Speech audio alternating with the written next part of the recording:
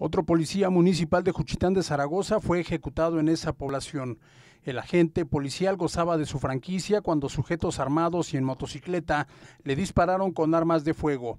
El crimen ocurre a tan solo unas horas de que el gobernador de Oaxaca, Gabino Cue, anunciara la puesta en marcha de un operativo policial en el istmo de Tehuantepec, donde este año han ocurrido alrededor de 130 ejecuciones. Con información de MBM Televisión.